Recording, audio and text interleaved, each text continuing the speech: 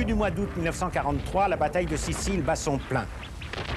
Les villes sont tombées les unes après les autres, mais les Allemands ont réussi à sauver leur matériel et leur armée. Ils reculent pas à pas. Pour les anglo-saxons, on a pu parler d'une amère victoire. Du côté du Japon, comme le sort des armes est en train de tourner, leur est venu de placer quelques explosifs sur la route des forces anglo-américaines. Ainsi, Tokyo reconnaît l'indépendance de la Birmanie avant de proclamer celle des Philippines et plus tard celle de l'Indonésie.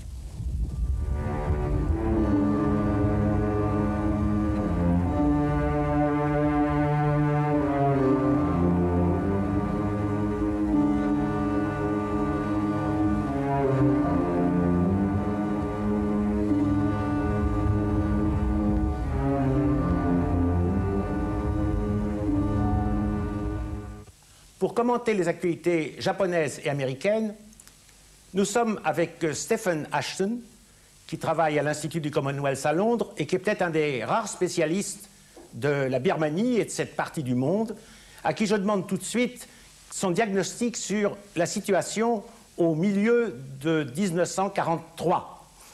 1943 est une année importante pour la guerre en Asie. La marée est en train de se retourner contre les Japonais après les victoires spectaculaires qui ont commencé à Pearl Harbor en 1941 et qui se sont poursuivies en 1942. Les puissances coloniales européennes ont subi des défaites humiliantes et décisives. La marine japonaise a subi une défaite à la bataille des îles Midway en 1942 et en février 1943, les forces terrestres japonaises ont subi une très lourde défaite à la bataille de Guadalcanal. Ce qui avait au départ été une guerre d'agression pour les Japonais devient une guerre de défense. C'est pourquoi le Japon, dans les pays qu'il a occupés, décide qu'il est temps de faire des concessions politiques afin de gagner le soutien des populations de ces pays pour l'effort de guerre. En 1943, les Japonais proclament ce qu'ils décrivent comme la sphère de coprospérité de la Grande Asie. Et parmi les concessions faites par les Japonais, eh bien, il y a l'indépendance accordée à deux pays, aux Philippines et en août 1943 à la Birmanie. Eh bien, nous allons voir ensemble d'abord l'activité japonaise, et quand vous voudrez parler, vous aurez la parole.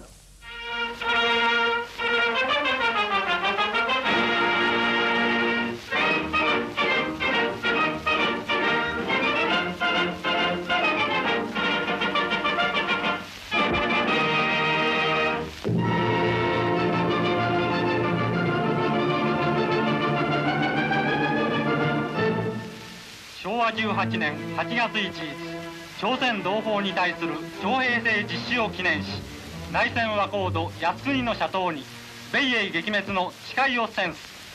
朝鮮同胞諸君は一子同人の生死を包帯して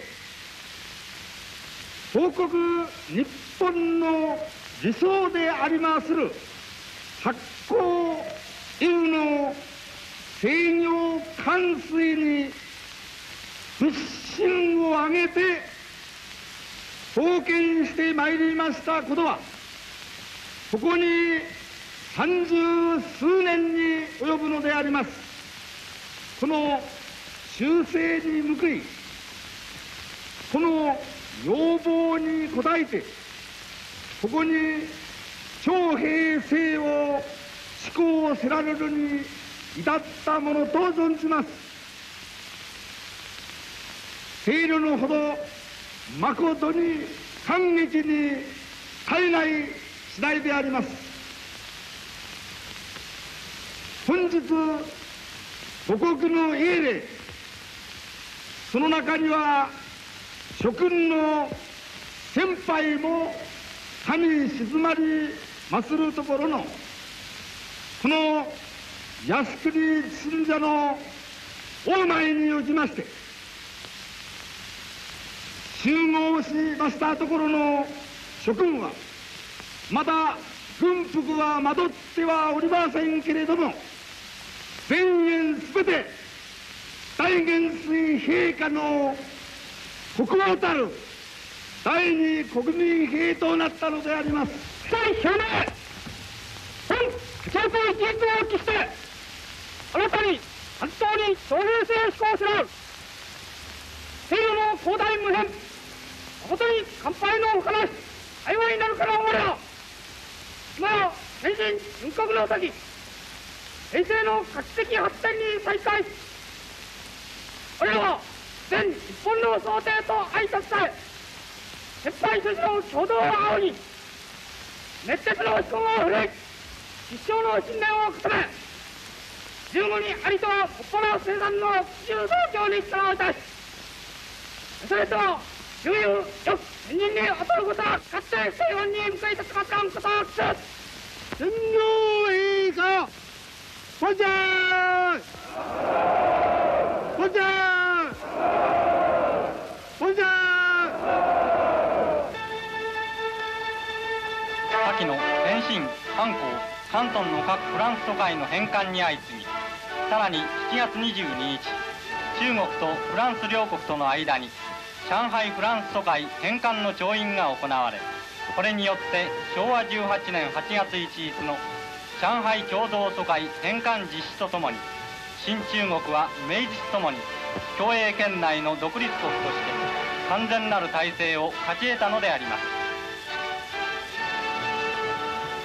この飛躍的発展が敵米英重慶政権に与える影響は大きい。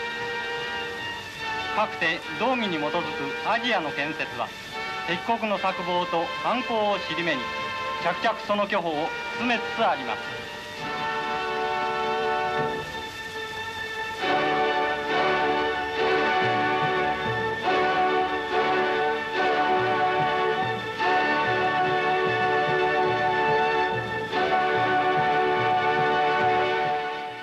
Oui, il s'agit là, M. Ashton, d'une des, concessions que la France avait encore en Chine depuis le début du siècle et que le gouvernement euh, collaborateur de Vichy cède au gouvernement collaborateur chinois, euh, qui est dirigé bien sûr par les Japonais.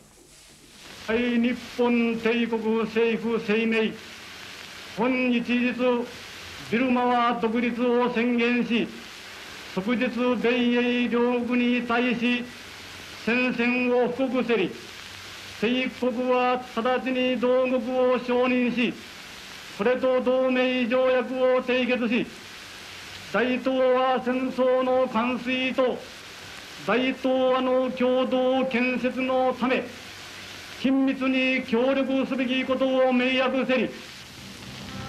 ビルマの朝、朝の光のうちに金色のパコダが美しく輝いている。時に昭和18年8月1日ビルマの歴史がことごとく記されるというこの石踏みに独立の栄誉が刻まれる時がついに来た。バーモー首相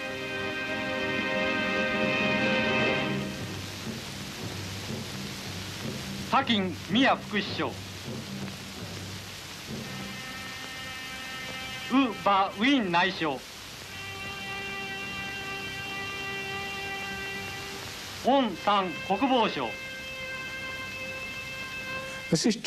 San Et voilà le général Aung San, ministre de la Défense dans le gouvernement birman qui vient d'être formé, le gouvernement indépendant en août 1943. C'est un personnage très important, non seulement parce qu'il est actuellement considéré comme le héros national, il a conduit euh, le mouvement euh, de l'indépendance. et en fait il a été assassiné peu avant que la Birmanie devienne véritablement indépendante en 1948.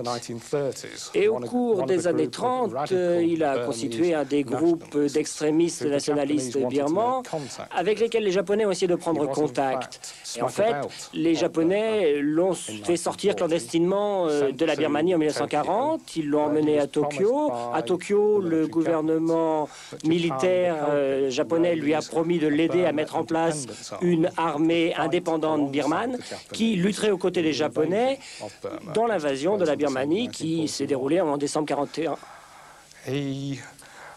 Il a constitué un groupe euh, de nationalistes euh, qui est maintenant connu sous le nom des 30 camarades et qui a subi un entraînement militaire de la part des Japonais en Thaïlande et qui ensuite est entré en Birmanie avec l'essentiel des troupes japonaises en décembre 1941 pour lutter contre les Britanniques.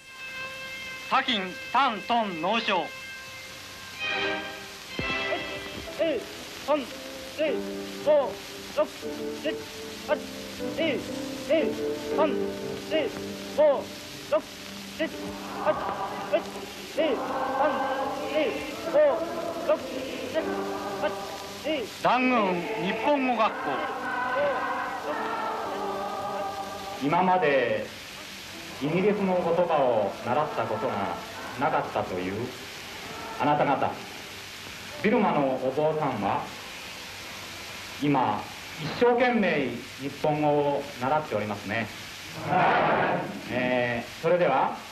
na ぜ皆さんは日本の言葉を習おうと思い立ちましたか、えー、新座な南田さん、はい。えー、答えてみてください。私は田舎へ帰って田舎の子供たちに日本語を教えたいと思います端っこの南田さん。日本は大東亜の指導者です我々アジア人は日本を指導者として大東亜徴兵権を作らなければなりません。そのためには我々ビルマ人は日本の日本の最新を学びまた日本人と一緒に働かなければなりません。そのために私は日本語を勉強します。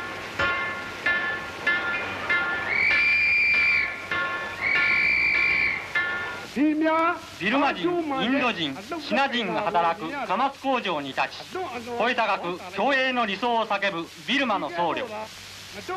皆さん私は皆さんが一生懸命働いているのを見て非常に嬉しく思いました。こんなに熱心に働けば必ず戦争に勝って大東亜共栄圏がもうすぐ世界一の楽土となることと信じます。皆さん勝ち抜く日まで一心に働いてください。日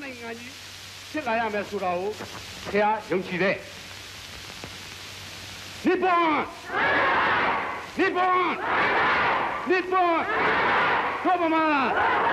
トボマ!トボマ!日本万歳ビルマ万歳決戦の最中に大東亜の建設は着々と進む。一つの事実は次の事実となって結晶しビルマ独立に次いでインドネシアの政治参与実現。人をまた独立の栄誉を担う日も近い。不動の体制なった共栄圏の人々よ。米英撃滅のその日まで働き抜こう勝ち抜こう。アジア10億民衆の栄光のために。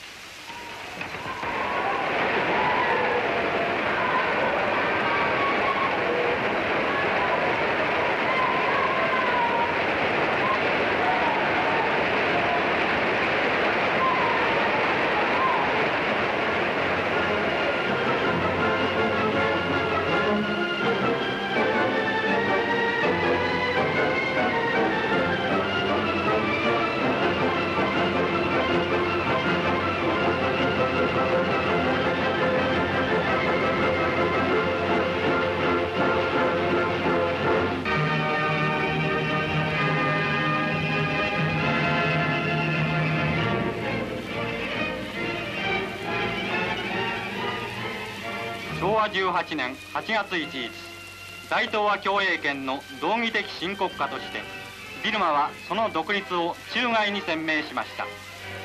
この栄えある独立式典に先立ち川辺ビルマ方面陸軍最高指揮官はバーモー長官以下に対し軍政の撤廃布告文を交付しました。軍政撤廃に関する布告昭和18年8月1日をもって全校政府の規制地域における軍政を撤廃昭和18年8月1日ビルマ方面陸軍最高指揮官川辺正和かくて日本側川辺ビルマ方面陸軍最高指揮官以下。ビルマ側バーモー氏以下。車を連ねて独立式場に到着。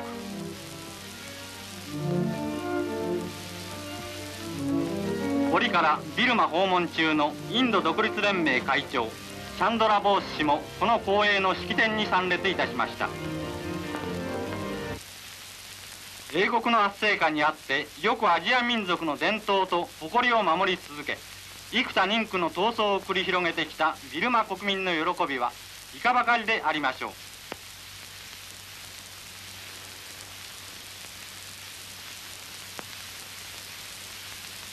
名宝ビルマ国が誕生した記念すべきこの日。帝国は直ちにこれを独立国として承認し午後5時我が澤田大使とバーモー内閣総理大臣との間に日面同盟条約が署名調印せられました。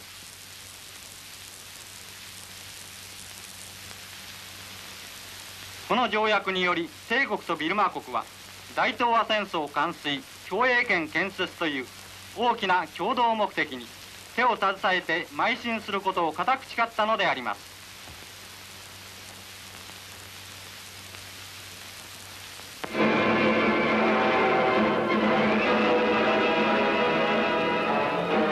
長き歴史あるビルマ。たとえ近く50年の間亡霊イギリスに屈服せるとはいえビルマ国民の総意に基づき今再びここに独立を宣言す。ビルマ国は直ちに米英に対し宣戦を布告。バーモー首相の毅然たる声はラジオを通じて全世界に放送されました。決戦下格のごとき大東亜建設の成果が如一に示されたることは誠に力強く限りであります。今また人を独立近きにあるの時今だイギリスの圧政に破砕し得ぬインドはもとより敵国に与える影響は甚大なるものがあります。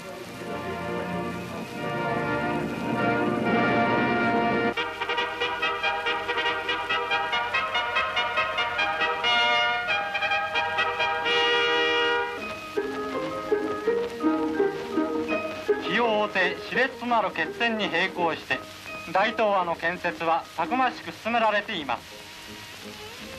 独立間近いフィリピン。今まで食料を輸入に待っていたフィリピンも至るべき栄光の希望に応えて米の増産に努め食料の自給自足を目指して戦っております。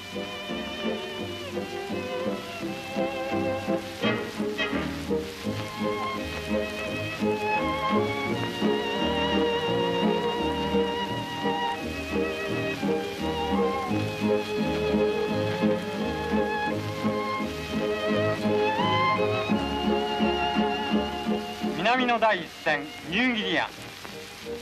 今まで米の作り方さえ知らなかった原住民たちが日本の兵隊さんの指導によって米の生産にこんな見事な成果を見せました。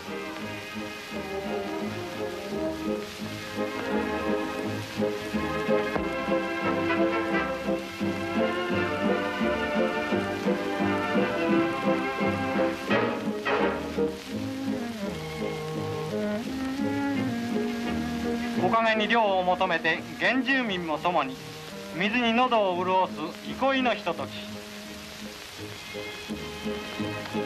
水中もうだるような炎天も何のその。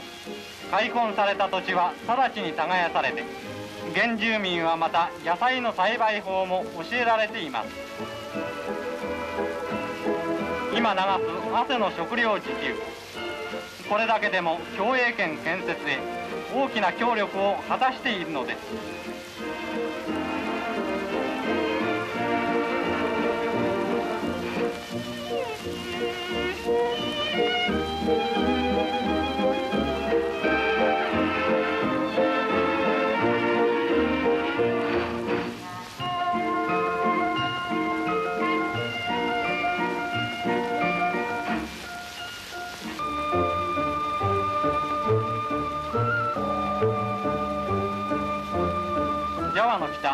スマトラの東に位するマズラ島は世界でも指折りの塩の産地です。強い南の日差しをいっぱいに受けて内地では想像もつかぬ大仕掛けな塩田に今マズラ島の人々は共栄圏の塩は自分たちでと増産にすごい馬力のかけようです。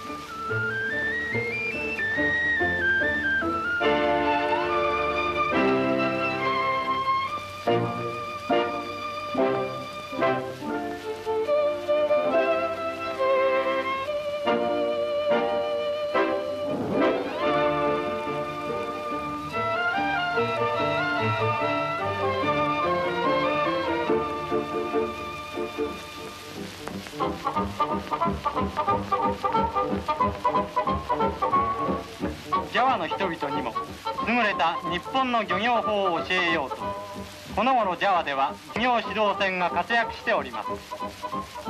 豊かな資源に加えてさらに新しい漁業法を得得してジャワの漁師たちは元気いっぱい食料増産に大笑わです。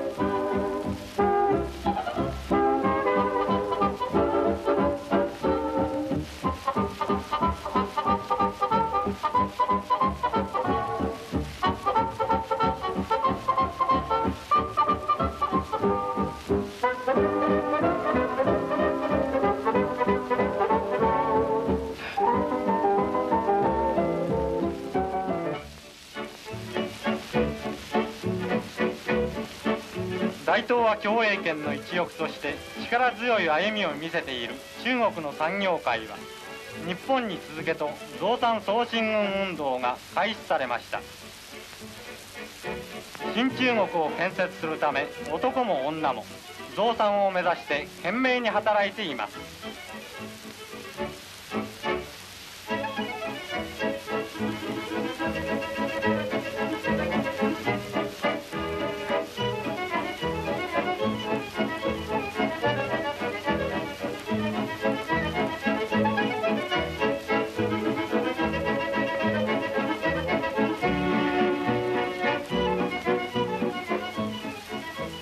リカの政策によって長い間圧迫されていた秘湯の免死工業が日本の指導のもとに立派に育とうとしています。最新式の設備を取り入れた紡績工場では働く喜びに立ち上がった多くの人を女性が鮮やかな背波で機械を操る。そして見事な布地が次々と生産されていきます。東亜共栄圏の需要を満たすべく誰も彼も一生懸命です。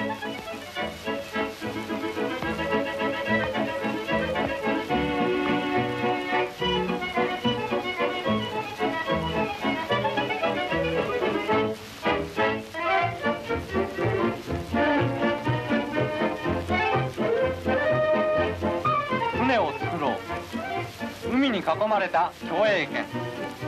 船がこの広い共栄圏を固く結びつける。内地はもとより南の各地に船の建造が今盛んに行われています。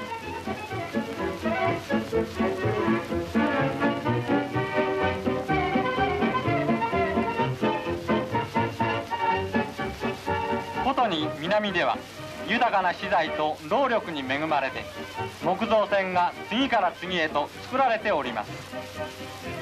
ここでは象までも一役買っていかにもビルマらしい造船風景です。共栄圏の建設は船の力に待つところが大きい。一隻でも多くの船を作ろう。現地も内地も力を合わせて船を作ろう。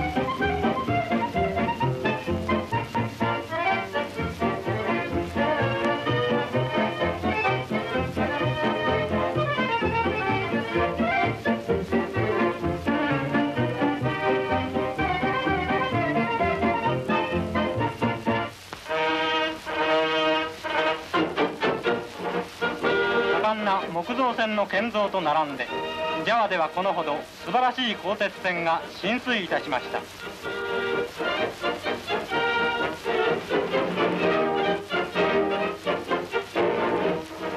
このような堂々たる鋼鉄の船が浸水したのはジャワでは初めてのことであります。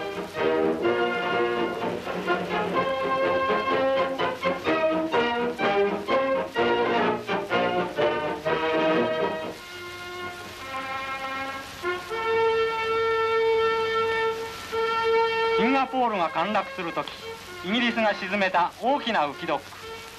このドックも海底にあること1年7ヶ月。我が優れた技術は見事この引き上げに成功しました。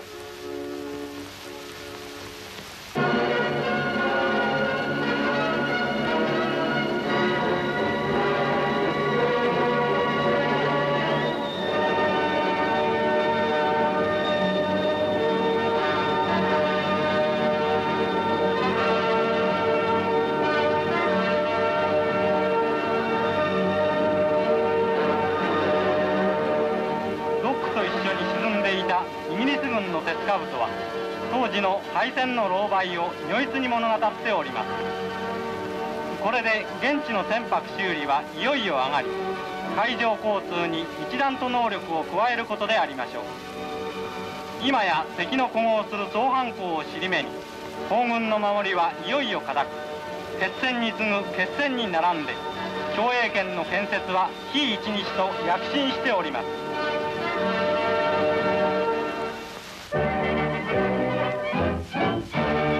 Stephen Ashton, nous avons fait le, tour de l'Empire japonais dans ses actualités, ou presque. Et on sait bien que les populations qui ont été conquises ont eu plusieurs types d'attitudes, bien sûr, et aux deux extrêmes, on peut dire qu'il y a eu d'abord l'Indonésie, qui a accueilli le Japon comme des libérateurs, et quand en 1944-45 les Anglais et Hollandais reviennent, c'est une nouvelle occupation.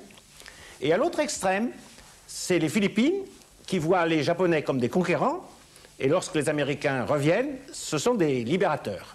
Alors, entre ces deux positions extrêmes, quelle a été, à vous je le demande, puisque vous êtes spécialiste de la Birmanie, quelle a été l'attitude des Birmans? L'attitude de, de, la Birmanie est assez simple à résumer. Lorsque les Japonais ont envahi le pays en 1941, on les a considérés comme des libérateurs. Évidemment, une partie de la population était indifférente, une partie de la population craignait même cette invasion japonaise. Mais les hommes politiques et les indépendantistes nationalistes étaient en faveur des Japonais parce qu'ils luttaient avant tout contre l'impérialisme britannique. Et ainsi, Aung San disait l'ennemi de mon ennemi est mon ami. Donc ça veut dire que les Birmans étaient prêts à accepter l'aide des Japonais pour conserver leur indépendance. Alors, à quoi ressemblait la Birmanie pendant l'occupation japonaise? Eh bien, je crois qu'il faut se souvenir des raisons qui faisaient que la Birmanie était importante pour le Japon. À l'époque, la Birmanie était un pays riche, et riche en matières premières stratégiques. La Birmanie avait du pétrole, elle avait des minéraux, elle avait des bois.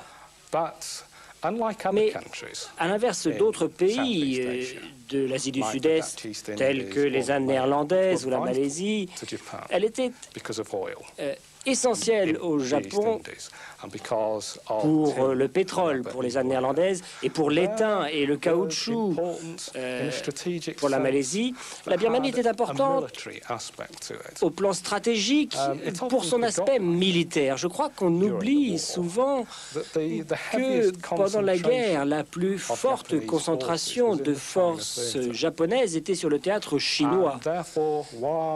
Et donc, ce qui faisait que la Birmanie était importante pour le Japon, c'est que par la route de Birmanie, les alliés occidentaux avaient leur principale voie d'accès pour apporter leur soutien logistique à leurs troupes.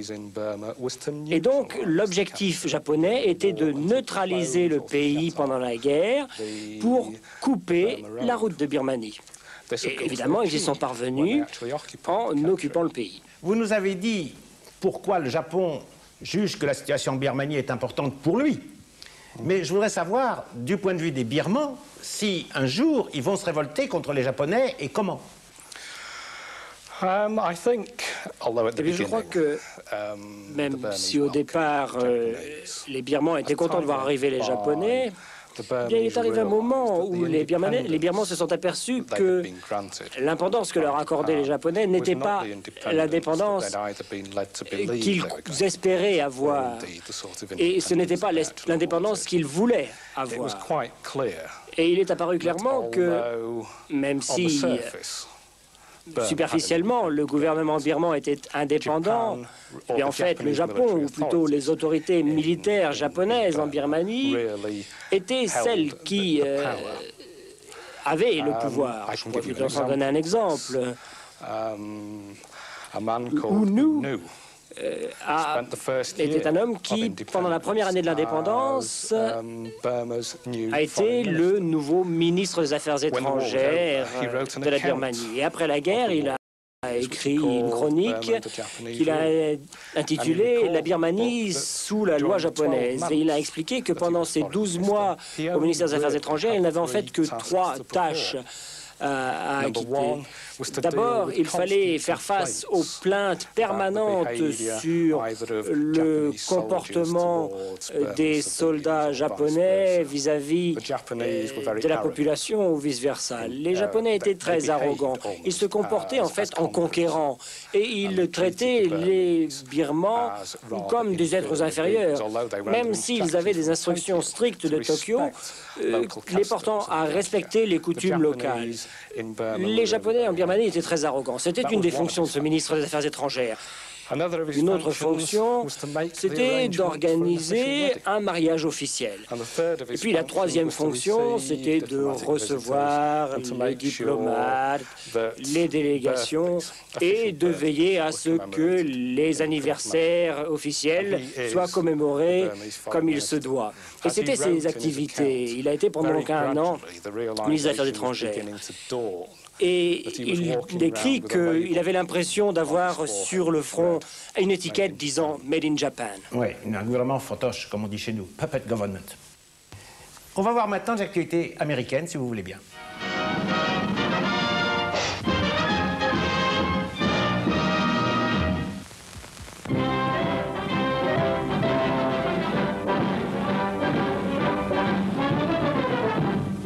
The wax are in the Army now. At Fort Devens, Massachusetts, they spell out their new initials, the Women's Army Corps. They dropped 1A and became 1A for the duration. And now they march as soldiers, sharing the grim responsibilities of war, shoulder to shoulder with the men. The oath of allegiance to the Army creates the first woman's army in America's history.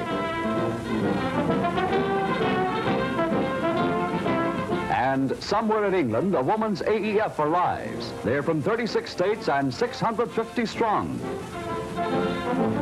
In barracks, which they learn to call hostels, the English way, the wax smile, happy at their safe arrival. If you think that pack's light, you should heft it. The sergeant lends a hand after a fashion. The boyfriend's picture makes a hostel a home. But when duty's over, it's into town just like a man. When Whack meets Wren, it's hands across the handlebars. And as guests at famous old English estates, tea is one of the things they've got to learn to like. American girls in England and back in America at Fort Des Moines, Iowa, home of the wax since organizing in May 1942, Colonel Ovida Kolpabe, Commandant of the Woman's Army, administers the oath of thousands of American girls anxious to join the Army of the United States. As a soldier. States of America. In the Army of the United States of America. The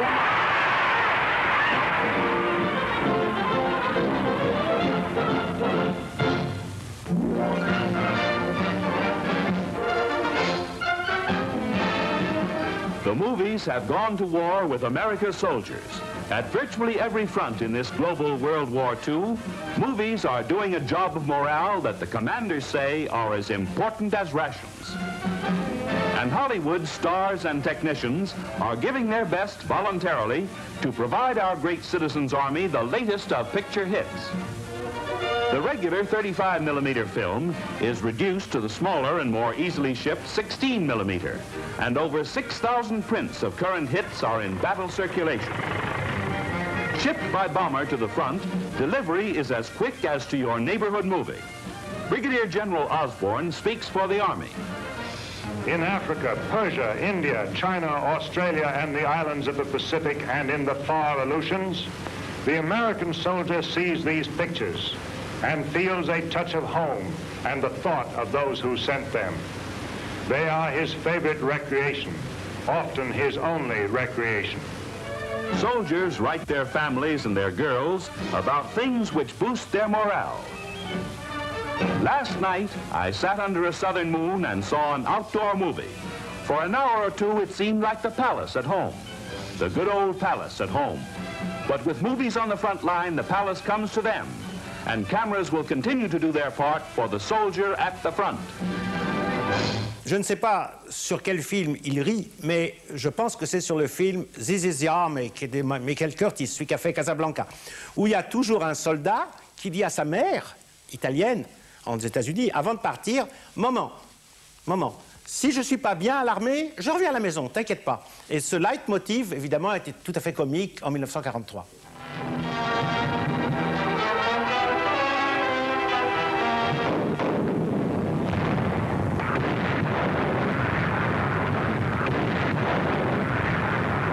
Dramatic news from Sicily, Catania Falls.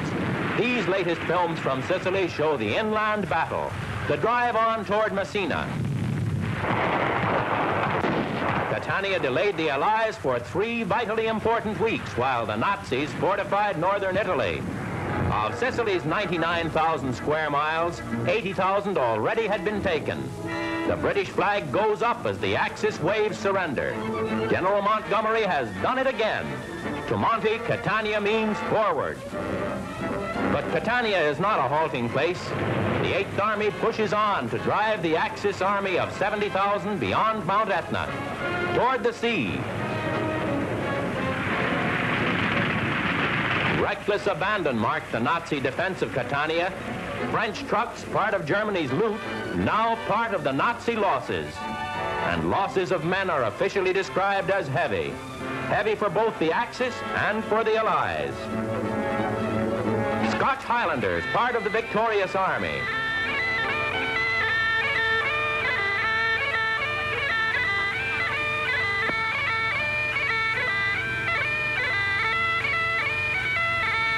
The Allied advance moved through town after town, towns like Francofonte, and everywhere the native Sicilians hailed their liberators. This is one road to Rome. Cheers on all sides, and fraternizing has no age limit.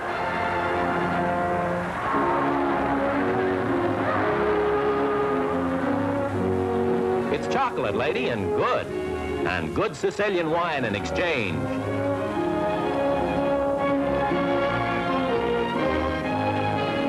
On all sides the picture of surrender. Most prisoners are Italian, but even members of the crack Hermann Goering division are in the roundup.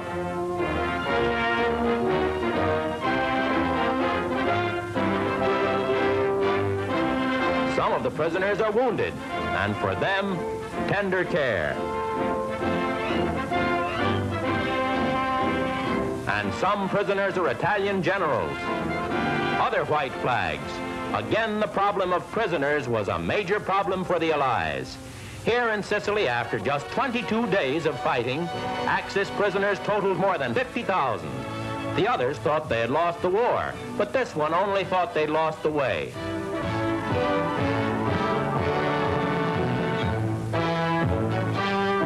Seaport cities that were battlefields as the Allies surged northward became embarkation points for Axis prisoners.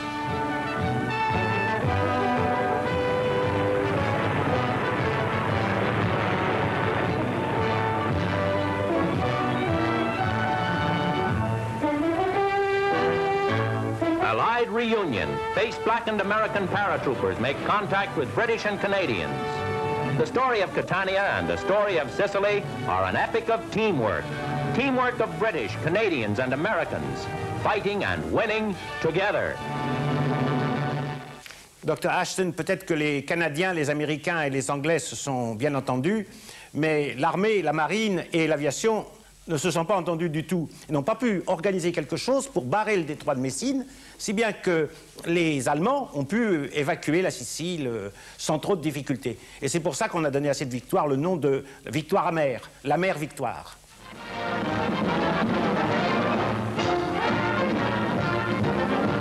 The first inside story of the Airborne Command. At an air base in North Carolina, the Army demonstrates glider tactics, which have packed a winning punch in Tunisia, in the Southwest Pacific, and most recently in Sicily. A single glider carries a 75 millimeter pack howitzer weighing 1,300 pounds, 21 shells, and a crew of five. No, Junior, that is not Whirlaway. The Airborne Command has reduced glider takeoffs to a neat and simple science. The ground crew makes the connection and off she goes. The nylon tow rope is fastened inside by the glider pilot. Gliders carry 15 soldiers with their full equipment, and they land most anywhere.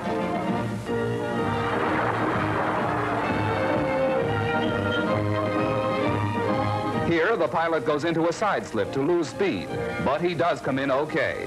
Normal landings bring the gliders in on their specially built nose.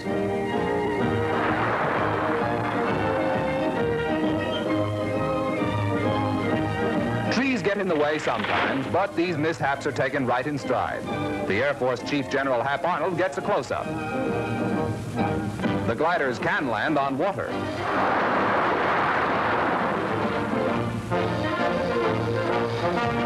And glider troops are amphibious too. The Airborne Command, they do get there first, sometimes with surprising cargoes.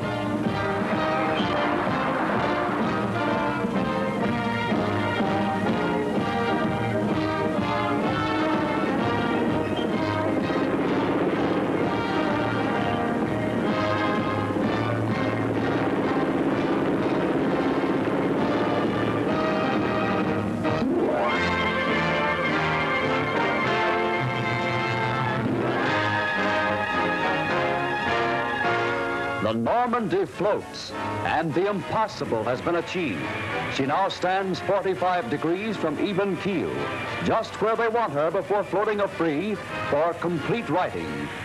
Captain Mansaw supervisor speaks for the 700 salvage workers. Practically speaking, the Lafayette is now afloat. Everyone concerned with the job during the past year and a half is needless to say extremely happy that it is approaching a successful conclusion. 18 months ago, the queen of the luxury liners was being converted into a troop transport. Objects of art and lavish interior trimmings were being stripped for storage. Not a cigarette, but a carelessly handled blowtorch ignited life preservers and flames spread from stem to stern. Navy officials believe that the thousands of tons of water poured into the fiery superstructure by firemen finally toppled the magnificent giant. As the superstructure is dismantled, divers go to work and the promenade deck laid bare.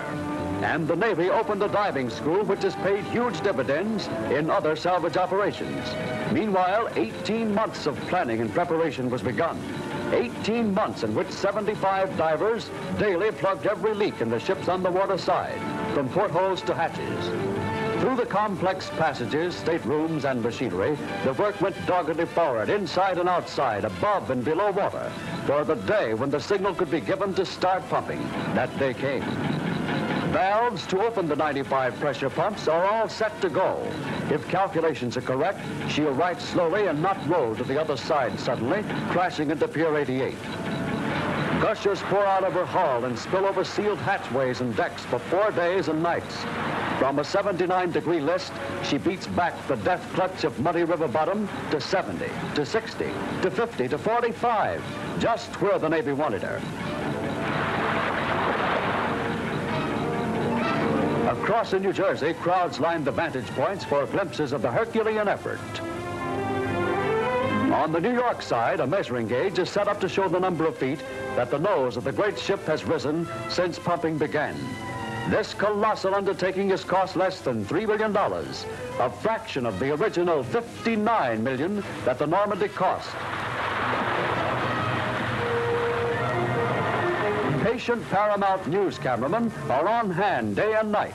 Through the eye of their cameras, we see the magnified motion of this miracle of salvage. Up she comes, just like that. The Normandy, now the USS Lafayette, will be several months before she resumes her old sea power. And when she does, it will not be as queen of the luxury liners, but as king of the troop transports.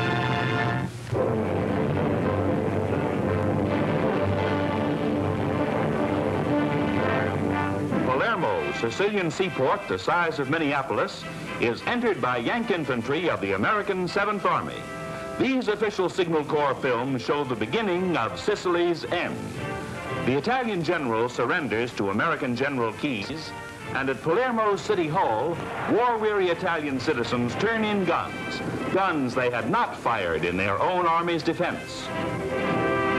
Jeepers, Palermo's children spot an American Jeep, and an obliging lieutenant finds himself and Jeep really covered. And Sicilians hail their American liberators. This is their welcome to peace. Now the Catania front. British 8th Army tanks and guns driving the Axis toward Messina.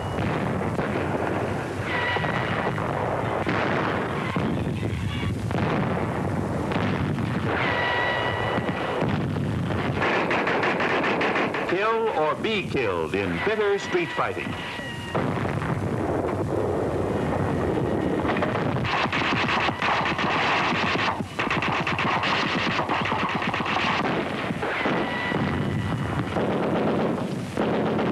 And the noise of battle is enough for these Italians. In three weeks, 125,000 Axis prisoners. And in town after town of Sicily, Allied victories bring new signs of the times. Near Catania, Canadian nurses, moving always ahead to battle line stations. Canada's women saving British and American lives, too. At the front, Canadian General Simons and General Montgomery plan the knockout blow. And Allied troops of Monte's veteran 8th Army raise their battle cry in salute to the brilliant Sicily campaign. Montgomery, Simons, and America's Patton, three modern musketeers of a mighty Allied team united for victory.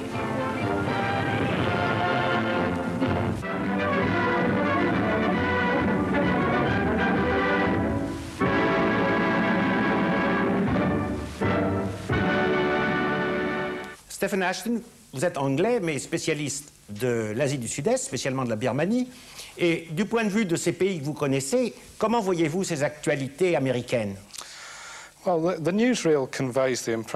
Ces actualités semblent montrer que les Britanniques et les Américains étaient alliés très étroits. Évidemment, c'était le cas au plan militaire.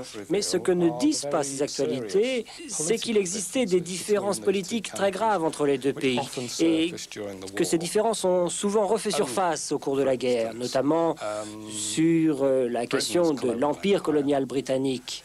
Les Américains ont pendant longtemps soupçonné les Britanniques de lutter en fait pour, dans un premier temps, récupérer, puis pour conserver leur empire colonial. Oui, c'est vrai. Mais j'ai une seconde question à vous poser. Pas loin de la Birmanie, en Indochine, on mène actuellement une guerre d'indépendance, mais qui est aussi une révolution. Qu'en est-il en Birmanie? Eh bien, dans le cas de la Birmanie, c'est essentiellement un mouvement d'indépendance. Je l'ai déjà dit, l'armée birmane a été entraînée par les Japonais, elle a lutté aux côtés des Japonais, mais lorsque les Birmans se sont aperçus de ce qu'on leur offrait comme indépendance, eh bien en fait en 1945, ils ont changé de camp, ils sont entrés dans la clandestinité, et puis ils ont lutté aux côtés des forces britanniques euh, qui arrivaient du Nord et qui poussaient les Japonais à la retraite. Euh, la Birmanie est devenue indépendante en 1948. À l'époque, c'est euh, un gouvernement nationaliste qui a pris le pouvoir. Mais sous la surface, il y a des problèmes très importants en Birmanie. Il y a un mouvement communiste qui voudrait saisir cette occasion pour transformer cette indépendance en une véritable révolution. Peu après l'indépendance, en février 1948, il y a la guerre civile en Birmanie. Le gouvernement lutte d'une part contre les communistes et d'autre part, et ça il ne faut pas l'oublier non plus, contre les différentes minorités nationales qui constituent la population birmane, et en particulier contre les Karen. Et depuis des siècles, il y a une histoire de lutte et d'hostilité entre les Birmans et les Karen. Et en fait, cela continue aujourd'hui. L'armée birmane continue à lutter contre les Karen après toutes ces années. Et c'est ce qu'elle a fait depuis 1948. Merci Stephen Ashton de nous avoir éclairé sur euh, la situation dans cette partie de l'Asie, qui est d'ailleurs très mal connue.